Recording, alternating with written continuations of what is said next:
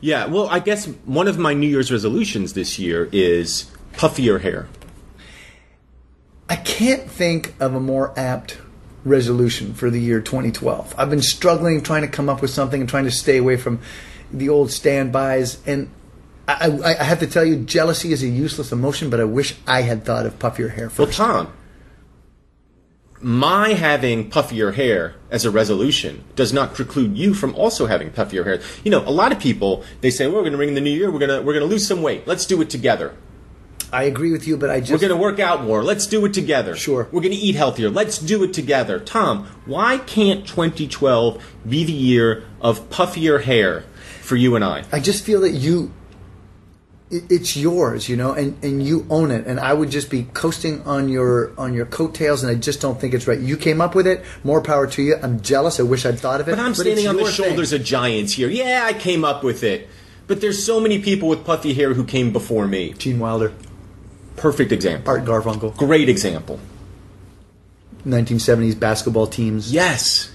You know, you're right, Michael. But I just feel that look, if you walk in and and people just go, "Oh, magic! Mm-hmm. Can you get your head through the door?" And then I walk in after you.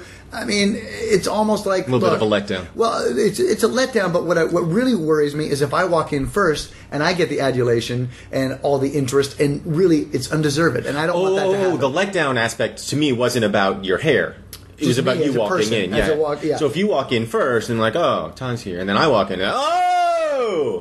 Right. But if I walk in with that hair, my hair looking uh, the way yours does right now, don't you think then I will get at least a, a, a much measure, more measured, enthusiastic reception? And, Yeah. and and if I do, then it becomes sort of this: Hey, Tom. Mm-hmm. Then when you walk in, it's like, Hey, Michael, it's less for you. Right. I'm not. Uh, I'm not. Uh, my New Year's resolution is to try and be selfless. For once, I'm just saying. In that, in the Good year luck. 2012, Good I want to try and be a little bit selfish. And if I start by not stealing your poofy hair idea, maybe I'm on my way. Maybe I'm on my way to something greater, Michael. If my puffy hair can serve as a bridge for you to get to your resolution, terrific. Because because ultimately the puffy hair isn't about the puffy hair. It's about helping other people become the best possible versions of themselves that they can be. And for many people, that's really nothing. They can't get much better than they are. No, most people. There's a lot of self help, but really, if, if we were to face it, you look in the mirror. That's it, Jack. Mm-hmm.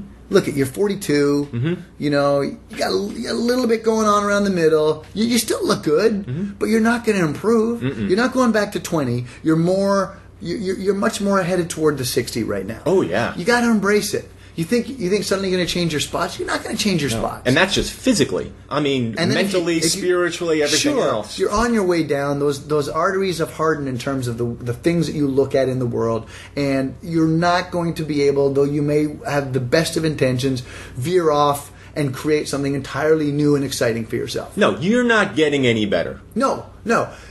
You're entertaining thoughts of suicide. You think that's dumb. It's not so dumb.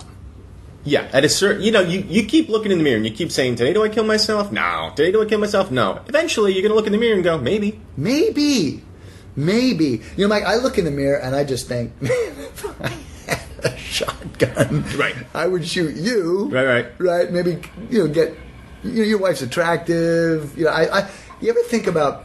yeah, I mean, we've talked about this. You know, I think a lot about murdering you, and I guess one of the things that um, holds me back is I just worry about the crime scene. I worry about the DNA. I worry about being an obvious suspect, and I, I worry about if I was trying to frame, say, your wife. You know, if there'd be some kind of slip up, and and modern television is the kind of thing that prevents me from just going ahead and murdering you. Because I tell you, it would be a rolling scheme if I were to do it. I mean, it would just be a lollygag. It would be a, uh, it would be so much fun. I think if I were to at least pull it off, then the the trying to avoid the you know the you know I'm sure there's gonna come knock at my door. Some stiff jawed cop is gonna start talking. He knows, and I know he knows, and he knows that I know, and everything is a non sequitur. It's underpinnings. No one's coming out and saying it. Have a good day. Oh, I will have a good day. You should have a good day. You're not dead. you know, it's that kind of. I mean, that game, Michael, would just be so enjoyable. I guess you're not going to do mates today. Can't. Mm-hmm. Why not? Michael's dead. Yeah, that's unfortunate. Happen. It is unfortunate, officer. It is really unfortunate. I'm just going to eat this leg of lamb now. That's not Michael's leg, is it? Ha ha! Officer, go on, have a bite. Does it taste like Michael's leg? A little gamey. Well, then. It's lamb. You and I have talked about uh, uh, best ways to kill me, and remember for a while I was just fixated on you know having you stand up at the right moment in a convertible Mm-hmm. and getting your head taken off by a low hanging bridge. For some reason I just thought that would be awesome because I would have killed you, but it would be your fault. I could then act. I could, you know, work on my acting on at the scene. I could be so distraught. and you need to. Well, clearly. Yeah. I mean, uh, listen, let's not discount the fact that that would be a dangerous thing if I had to try and like act my way out Mm-hmm. of trouble. But if you were to like have your head lopped off by a bridge, I don't think I would have to like rely on my existent or non-existent acting skills to get myself out of trouble. No, you look blameless. There would be eyewitnesses. He just stood up, and then that low hanging bridge doesn't take it head clean off. Where are we when this happens? Are we Well, when it happened, we're, we're down there in the south down there. okay? Got it. I don't want to. I don't want to take your head off somewhere around here. Right. You don't want to commit the murder close to home. Uh-huh. You know? Don't Wha- shit where you eat. Well, no, but I, I also shouldn't do the murder close to home. That was going to be my next point. But Don't also don't do the murder.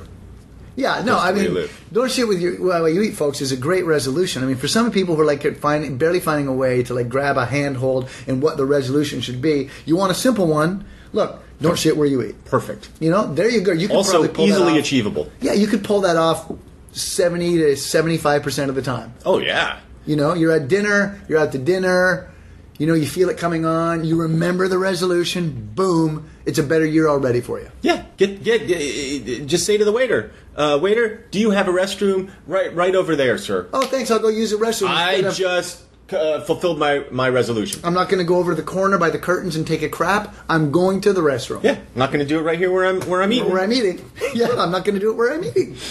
You know, it's great. Sometimes people eat on the run. That's messy. Some people have the runs while they eat. Yeah, sure.